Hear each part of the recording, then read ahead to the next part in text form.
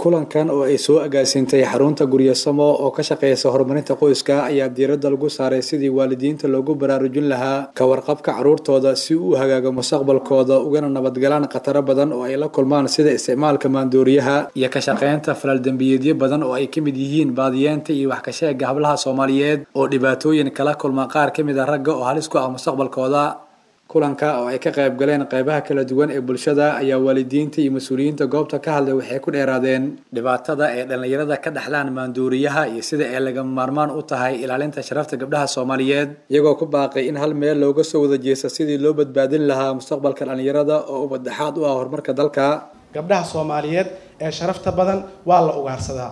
Waxaa laga ugaarsadaa goobaha waxbarashada iskuullada laga ugaarsadaa jaamacadaha laga ugaarsadaa waxaa magaaladan jooga dad yacni inay sharafka yacni gabdhaha muslimaadka baabi'iyaan dhaamaan oo burburiyaan u soo xiita ayaa jira oo qaarkood ka yimid dibadaha qaarkood dalka jooga oo isbahaystay. Shabakad waxaa jirta magaalada muqdisho joogta ee la soo ogaaday oo gabdhaha ka ugaarsada. Daraakiskan hadda la sheegayo oo maanta laga sheekeynayay haddii gabadhu ayada isan doonan ama wiilka uusan doonan laakiin waa loo keenaa.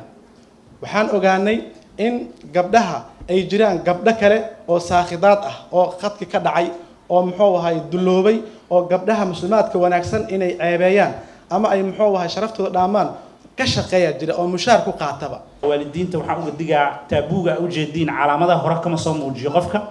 Waxa waaye asymptomatic waa calaamad la'aan waayo muddo dheer. Laakiin mee waxyaabaha lagu yaqaano waxaa ku jira qofku meesha uu furuurta ka saarto.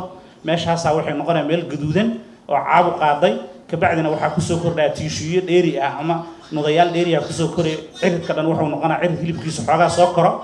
Marka markaas kadib aa waxyaabaha calaamaduhu bilaabo kara in cunugu madax xanuuna iyo wadnuhu garaacma ay dhibaatadaasu imaan kartaa. Gudoomiyaha hay'adda culimada soomaaliyeed sheekh bashiir axmed salaad iyo nabadoon maxamed xasan xaad ayaa si adag uga hadlay dhibaatada uu maandooriyaha ku haya dalka iyo sida uga habboon ee looga hortegi karo. In gabadha lagu cayaaro baa lagu qaadanayaa lacag. Dadan kale jecleen waxba oo lacag raba oo kii dhimanaya ha dhinto gabadhii xumaanaysaa ha xumaato. Marka haddii dalkan uu burburona haddii dalkan uu ka burburo akhlaaqdii qoyska waa noo dhammaanaysaa marka runtii waxaa iska warqab baa loo baahanya kow waxaa loo baahan yahay in lagu xirnaado masaajidda xaafadaha ku taalla. In culammada masaajiddu ay qabtaan kaalin wacyigelin oo waalidiinta iyo hoyooyinka masaajidda iyo meelaha inta lagu aruuriyo lala hadlo waxaa jeega waxaa jira loo sheego waxaa laga yaabaa qoyska guriga ku nooli ama waa toban ama waa labiyo toban ama waa shan iyo toban ama waxu dhow. Habartii adoogba inta kale waa da-yar. Dadka marka raba dalkan inay u haraan oy camiraan hadhow oy u noqdaan magac ku yeeshaan waa marka da-yarta waay. Da-yartina waa lagu soo waa lagu soo baxay.